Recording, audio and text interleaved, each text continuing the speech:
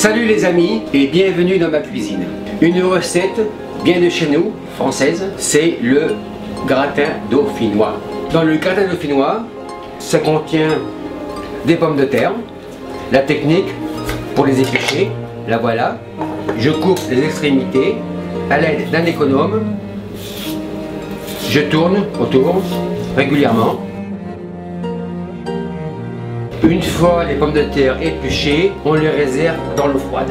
La première étape est de faire réduire la crème, 15%, un peu de thym, quelques feuilles de laurier, ail. On écrase dans la casserole. Muscade.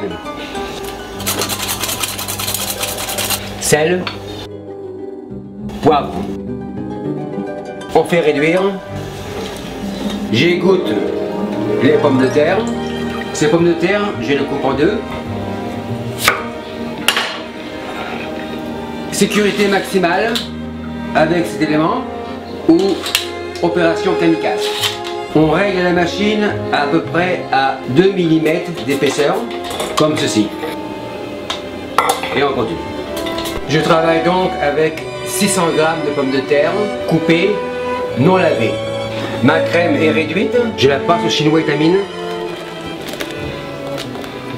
J'incorpore les pommes de terre, je remue légèrement, on les porte à ébullition. Mon four a été préchauffé à 325 degrés, les pommes de terre commencent à bouillir. Je vais chemiser mes moules à gratin avec une gousse d'ail.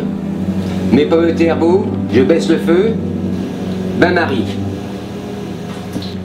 J'allume, on laisse faire. Les pommes de terre commencent à bouillir, la fécule a fait son travail, liant un petit peu plus la crème, j'éteins le feu et je dispose. Un gratin ne devrait pas être trop épais, ce qui fait que 3 couches de pommes de terre à 4, ce sera suffisant. Maintenant, ces plats à gratin, je les couvre, papier aluminium, côté brillant, toujours dessus. Ces plats à gratin, bain-marie, le bain-marie bout, mettons au four. On en a pour 45 minutes et voilà. 45 minutes après, on the nose, je retire le gratin du four, vérification de la cuisson. Les pommes sont cuites, le tout est très moelleux, et voilà. Si vous trouvez que le gratin est un petit peu trop sec, si les pommes de terre d'une qualité euh, autre que celle-ci ont trop pompé donc les éléments euh, crémeux, nous pouvons toujours rajouter un petit peu de crème, comme ceci, très légèrement bien sûr. Ceci est facultatif. Maintenant, ce n'est pas un fromage, c'est trois fromages en soi, comté, emmental et gruyère. Le tout mélangé, je disperse comme ceci, toujours au bain-marie, je remets au four, environ 15 minutes, on verra le temps du craquenage. Donc bien sûr le four est toujours à 325.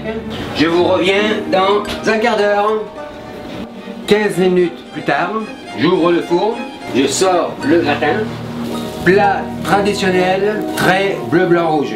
Une décoration bien sûr est nécessaire. Je retire mes gratins.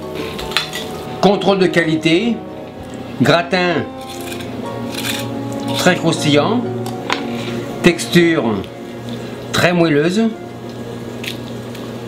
cuisson vraiment impeccable. Une décoration bien sûr est nécessaire, le gratin, une pointe de persil comme cela. Voilà donc mon gratin traditionnel, très cocorico, redessiné à ma façon en Nouvelle-France. Alors manger. C'est prêt?